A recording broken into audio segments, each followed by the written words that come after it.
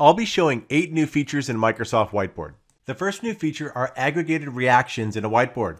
I'm here in a Teams meeting and I'm going to go to share and start my whiteboard. Here's my whiteboard and I'm going to demonstrate how aggregated reactions work.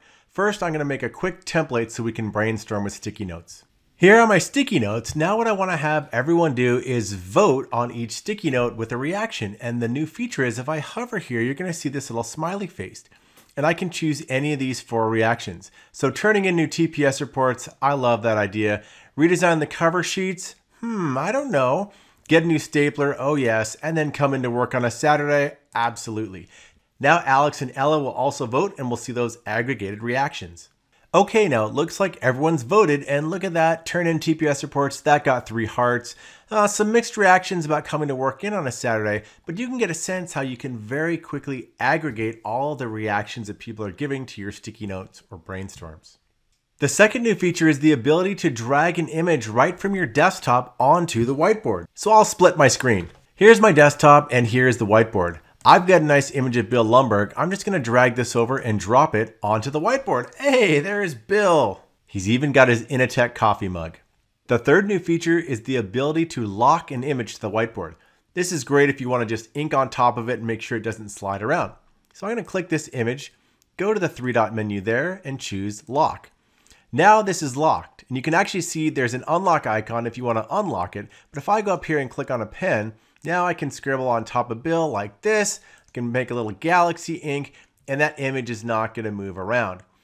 To unlock it, I'll go over here for the selection tool, right click on the image, and that brings up the little unlock icon. I'll choose unlock, and now the image is unlocked. I can size it, I can move it around and do all the other things I might do with it normally. The fourth new feature are better zoom controls to know exactly how far in or out you're zoomed. So right now in the lower right, you see 61%. That means that's the zoom level. If I want to zoom out a little bit, let's click that. And now I can see that it's 10% zoomed.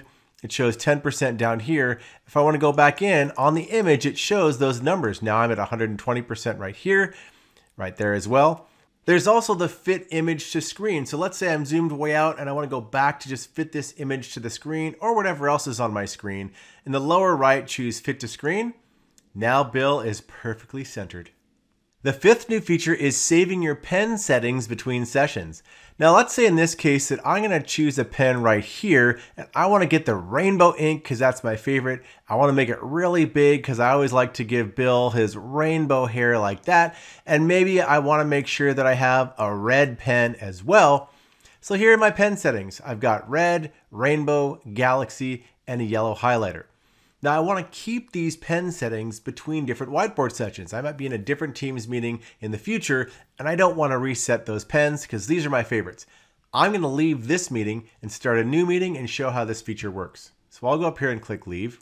Now I'm in a new meeting called reuse pen settings and in the upper right I'll choose share content and now choose Microsoft Whiteboard. Here's my new whiteboard and check this out. There's my red pen, rainbow, galaxy, and the yellow highlighter all the best colors in the whiteboard pen palette. Now they're with me in my new meeting. The sixth new feature is uploading an image from mobile whiteboard. So here's the mobile whiteboard I'm launching. Tap New Whiteboard. Now tap And then choose Images. And I'll choose Photo Library. Here's a photo I want. It's me. Tap that, hit Add. Hey, and there's the photo added. I can size it. I can even turn it a little bit sideways or even turn it all the way upside down. Woo, dancing on the ceiling. The seventh new feature is that Ink Enhanced Shapes now works for mouse as well as inking. In the past, if I made a circle with my ink drawing, it would actually enhance that and make it a pretty circle, but if you drew that same circle with your mouse, it wouldn't work.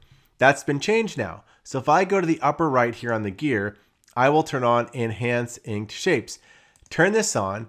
Now I'm going to go over here with my red pen, and with my mouse, I'm going to draw kind of an ugly circle and look at that, it corrects it and makes it really pretty. I can do the same thing with a triangle now, drawing it with my mouse.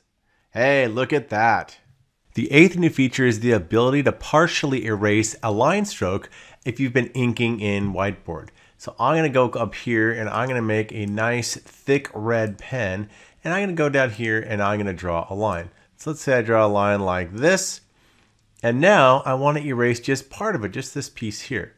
If you go up to the eraser and click it once and then click it again, you're going to see erase partial stroke or erase entire stroke. Now the default is erase partial stroke. So now if I go here, I can just erase a piece of that line. If I go up here and click again and I want to say erase entire stroke, now when I click the eraser, boom, it's all gone. If you want to keep up with all the latest Microsoft updates and tips and tricks, subscribe to my channel and then just ring the bell so you get all the latest videos that I post.